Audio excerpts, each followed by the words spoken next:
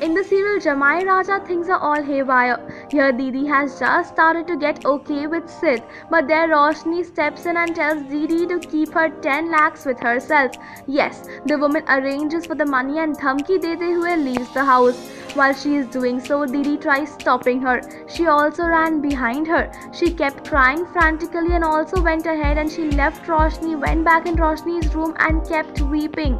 When her Devrani came in and tried to help her, Roshni pushed her away too. So now will this make Didi hate Sid all the more and make Sid's dream of uniting Roshni with her mom come to an end?